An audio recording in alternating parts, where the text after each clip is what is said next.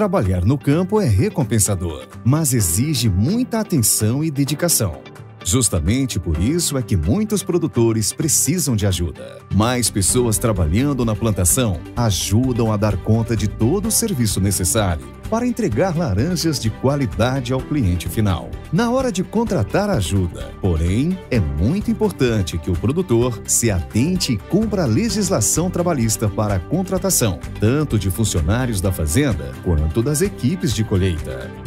O cumprimento da lei garante não somente o bom gerenciamento da propriedade e do negócio, mas também é uma proteção importante para que os trabalhadores possam exercer seu trabalho com segurança e dignidade. A lei prevê diversas modalidades para a contratação de um trabalhador e ou equipes de colheita para prestar um serviço na propriedade. Vai depender do período do trabalho e da natureza da função a ser realizada. Essas modalidades são as de trabalhadores fixos, temporários, safristas ou terceirizados. Nos contratos de trabalho fixo, o produtor é responsável pelo contrato de trabalho e pagamento do salário e benefícios dos funcionários. Na modalidade de trabalho temporário e dos safristas, o produtor pode optar por contratar um funcionário por um período específico. Ainda assim, deve pagar o salário e todos os encargos trabalhistas. Já nos contratos de terceirização, o produtor contrata uma empresa que fica responsável pelo registro correto dos funcionários. Essa última modalidade, porém, não exime o produtor da responsabilidade em caso do não cumprimento à legislação. É preciso se certificar de que a empresa contratada esteja cumprindo todas as normas. Portanto, ao contratar uma empresa de terceirização, certifique-se de que o contrato tem cláusulas que exigem o cumprimento da legislação trabalhista e dos deveres relacionados à saúde e segurança. Combinado?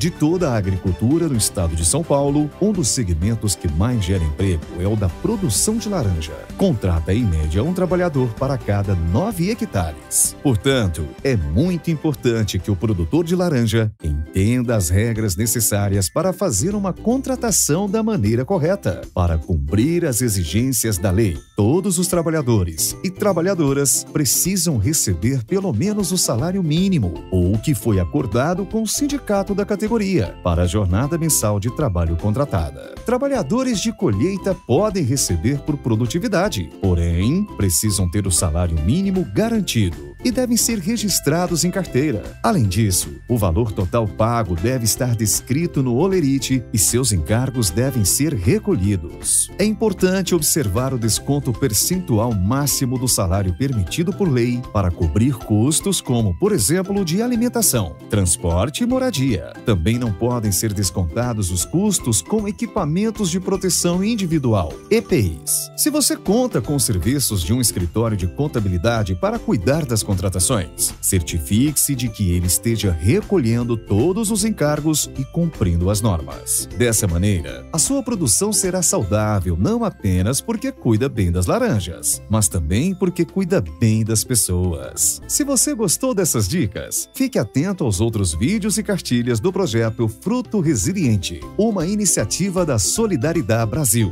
que promove o fortalecimento da produção sustentável de laranja. Conte conosco, nós contamos com você. Solidariedade.